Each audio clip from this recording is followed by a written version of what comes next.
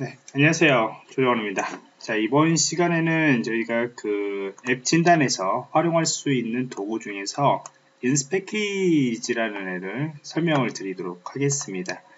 어, 인스패키지 같은 경우에는 저희 앱에 그런 변화들을 후킹을 하게 되고요. 그 다음에 그 후킹된 정보들과 그 다음 파일이 생성되는 정보들, 그 다음에 어, HTTP 웹에 연결되는 그런 모든 정보들을 여기에서 음, 빠르게 확인할 수 있는 도구 중에 하나이고요.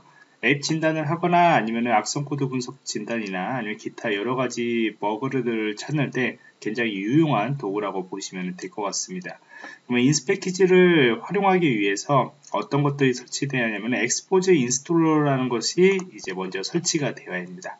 네, 우선 Xposed Installer를 설치를 할때 어, 우리가 찾아야겠죠. 그래서 Xposed Installer라고 검색을 하시면은 이 공식 사이트가 있습니다. 이런 것들 아래에 있는 뭐 몇 개 사이트들이 있는데 여기를 가시면 안 되고요. Xposed Installer라는 이 공식 사이트에 가셔서 여기 하단에 보면은 어, 이런 식으로 APK 파일이 하나가 있습니다. APK 파일이 하나가 있어요. 그래서 여러분들이 이거를 다운로드 받으신 다음에 adb 인스톨이나 명령어를 이용해서 여기다가 설치를 하시면 됩니다. 자, 여기까지는 뭐 이거는 나 설명을 계속 했기 때문에 굳이 뭐 이렇게 설치를 같이 하는 과정은 어, 생략을 하겠고요. 자, 설치를 되면 이렇게 설치가 됩니다. 자, 그런데 이제 어, 설치를 하고 난 뒤에 하나 이제 선택할 것이 있는데 이 Nox에서 위에 보면 이제 설정이라고 있습니다. 시스템 설정이라고 있고요. 이 시스템 설정에서 이 root라고 이렇게 켜져 이게 꺼져 있어요. 기본적으로 이렇게 꺼져 있는데 이 Nox, 이 Nox에서 이 root라는 것을 꼭 켜시기 바랍니다. 그래서 Xposed 같은 경우에는 여기서 이제 어, 정확하게 root 권한, 시스템에 대한 권한들을 가져야만이 얘가 이제 제대로 이, 그 이것들을 모듈을 가지고 여러 가지 이제 작동을 시킬 수 있기 때문에 꼭 여러분들 이걸 지키시기 바랍니다. 그래서 켜기 하면은 설정 저장을 하면 이게 재부팅이 돼요. 예, 재부팅 몇 번을 하게 될 겁니다. 이거 지금 하는 동안에요. 그 다음에 이제 두 번째는 어떤 거냐면은 이제 framework에서 이 framework에서 framework 설치 및 업데이트를 한번 어, 진행을 한번 해보시기 바랍니다. 그러면 이제 이것도 빠르게 이제 재부팅이 되면서 어, 현재 이런 app process 이게 58개나 50개 이런 정보들이 정상적으로 나와야만이 이제 framework가 정상적으로 설치가 됐고 동작이 됐다고 보시면 될 것 같습니다. 그래서 한번 여러분들 여기까지 한번 엑스, Xposed framework를 한번 설치를 하시기 바랍니다. Xposed framework 같은 경우에는 다양한 모듈들을 제공을 하고 있습니다. 이거는 이제 어떤 관리자 관련된 시스템과 관련된 그런 다양한 뭐 플러그인처럼 이렇게 모듈들을 어, 설치가 될 수 있는데 여기 내려받기를 한번 클릭을 하시기 바랍니다. 내려받기 클릭을 하시면은 여러 가지 다양한 도구들이 이렇게 있습니다. 사실 저도 요 많은 도구들을 하나하나 다 사용하지는 못했어요. 근데 굉장히 이런 테마 같은 경우나 아니면은 여러 가지 여러분들이 이 앱에서 사용하는 그런 유용한 것들을 다 사용할 수가 있죠. 물론 요거를 사용하기 위해서는 루팅된 폰이 되어야만이 이걸 제대로 활용할 수가 있습니다. 그래서 진단을 할 때, 진단할 때 사용할 수 있는 몇 가지들만 이렇게 사용을 하지, 여러분들 실제 사용하는 루틴 폰에다가 많은 것들을 설치하라고는 권고하고 싶지는 않습니다. 자, 그래서 저는 인스패키지라는 것을 미리 설치가 되어 있고요. 여러분들 여기에서 검색을 해서 인스패키지라고 이렇게 어, 검색을 하시면은 이렇게 뜨겠죠. 그래서 인스패키지라는 것을 이제 여러분들 클릭하셔가지고 이것도 똑같습니다. 클릭을 하시면 저처럼 나오는 것이 아니고 여러분들 이제 설치하라고 이렇게 나올 겁니다. 그래서 버전이란 것을 클릭해서 설치를 하시면은 여러분들이 설치가 됩니다. 자 여기까지 또 설치가 됐죠. 자 그 다음에 이제 모듈 관리 쪽 여기까지 다 설치가 되면은 이제 저처럼 어, 이렇게 별도의 앱이 설치가 될 것이고요. 어, 여기 보면 이제 모듈 관리에서 에스포즈에서 얘를 계속 바라보고 있어야 합니다. 그래서 모듈을 활성화 시켜 주셔야 합니다. 그러면은 아마 또 리부팅을 또 요청을 할 것 같습니다.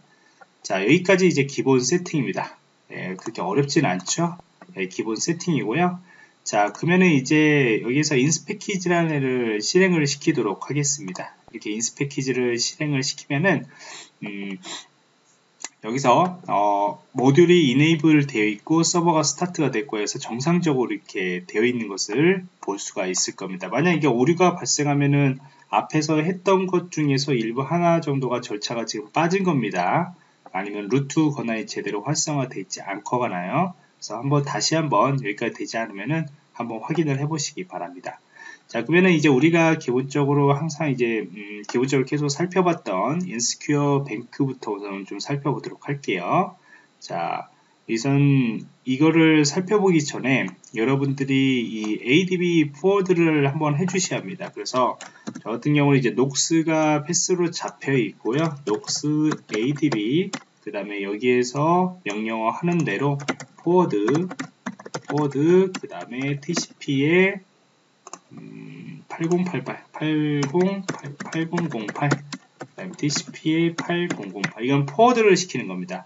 이 앱에 동작하고 있는 것을 이 ADB를 이용해서 forward를 시켜서 저희 local 쪽에서 웹에서 확인할 수 있도록 그렇게 forward를 시키는 거죠. 그래서 아무 반응이 없습니다. forward 시키면요. 자, 이렇게 반응이 없고, 자 여기에서 이제 여러분들이 분석하고 싶은 것을 선택하시면 됩니다. 이렇게 정상적으로 나오고요. 어, 저 같은 경우는 InsecureBank를 한번 뭐 활성화를 시켜볼까요? 자 InsecureBank를 선택을 하고 launch를 하면은 InsecureBank가 이렇게 실행이 됩니다. 자 그러면 여러분들이 웹에서 localhost 8008 아까 했던 8008로 클릭하시면은 이런 화면이 나와요. InsecureBank가 설치된 그 실행되고 있다는 것을 나오고요. 자, 이렇게 나오죠. 자, 그러면 이제 기본적인 정보들은 이렇게 나오게 됩니다. 그럼 여러분들이 제대로 이 정보들, 이 앱에서 현재 실행되고 있는 모든 정보들을 확인하고 싶으면은 오늘 이제 오프를 ON으로 고치시기 바랍니다. 예, 그러면 이런 정보들이 나오죠. 지금 여기까지가 이제 여러분들이 이 앱을 실행할 때 동작하는 그런 정보들을 여러분들이 볼 수 있습니다. 자, 볼 수가 있고요. 음, 그 다음에 이제 여기에서 어, 서버에 접속을 해야겠죠. 그래서 한번 서버를 접속을 하는데 사실 이거는 HTTP 통신을 하지는 않죠. 예, 인식큐 뱅크 자체가요. 그래서 HTTP에서는 정보가 그렇게 많이 나오지는 않을 거고요. 그래서 앞에 하고 했듯이 자, 이렇게 설정을 해주고 그 다음에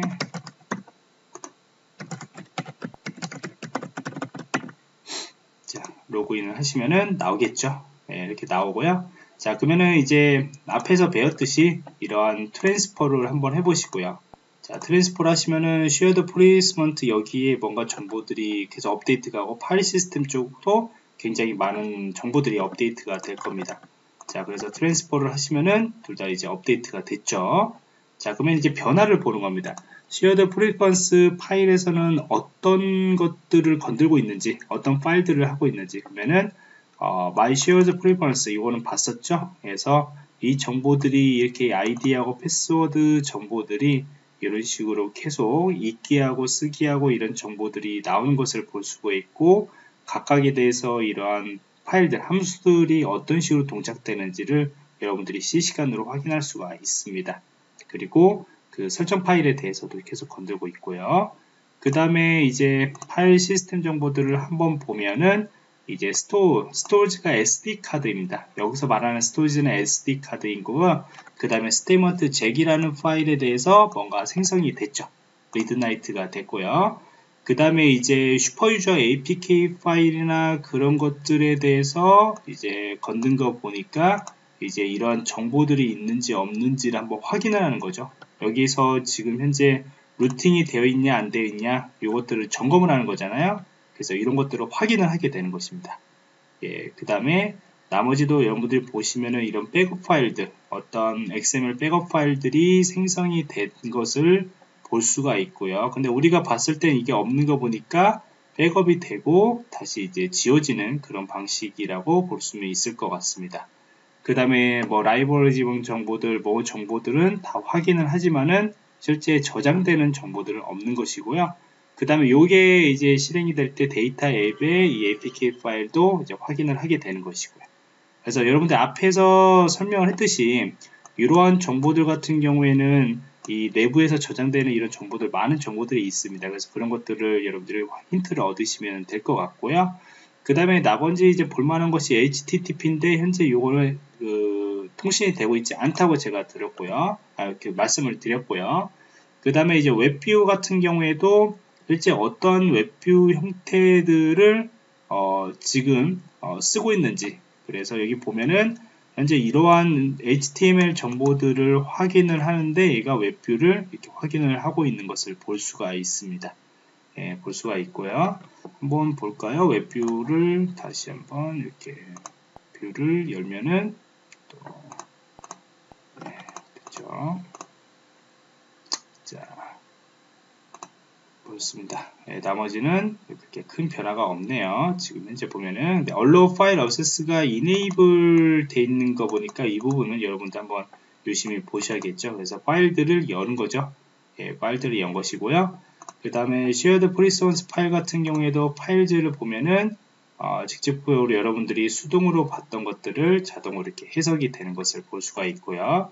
그 다음에 SQLite 정보 같은 경우에도 지금 현재 보면은 어, SQLite 안에다가 지금 현재 잭이라는 그런 것들 네임들을 계속 집어 넣는 것을 볼 수가 있습니다. 만약 여기에 어, 패스워드나, 주, 패스워드나 중요한 정보들이 계속 집어 넣으면 그것도 문제가 되겠죠. 예, 이런 식으로 확인하시면 될 것 같고요. 어, 나머지는 이제 뭐 예, 해시 값들이나 그런 것들 여기 보면 이제 어, 칩번호 AES, AES 키 방식들을 사용하고 있다는 것을 확인할 수가 있고 그 다음에 패스워드 정보가 이런 AES에 대해서 이런 것들 킵값을 가져와서 해석이 되는 것을 볼 수가 있겠죠. 그래서 이거는 일방향 통신이 지금 일방향이 아니라는 거죠. 대충 받으러도요. 그래서 양방향 암호화를 사용하고 있고 AS라는 것을 사용한 것을 볼 수가 있습니다. 그래서 이 같은 경우에도 어, 실제 앱에서 여러분들이 확인을 해보면 취약하다라고 이제 볼 수가 있겠죠.